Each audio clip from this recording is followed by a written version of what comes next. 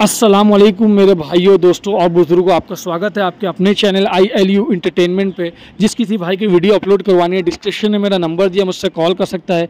ये video for sale के लिए आई है हैदराबाद से। और ये वीडियो में आपको दो फीमेल दिखेगी। एक जो है, ये आपके सामने ब्लैक वाली। चार दाँत की है ये और दो महीना लोडेड है। और जो वाइट वाली है, ये सात महीने की है। सात महीना, माशाल्लाह, और क्वालिटी देखिए चीज़ देखिए। और ये दोनों इनको सेल करनी है ट्वेंटी फाइव थाउज़ेंड में।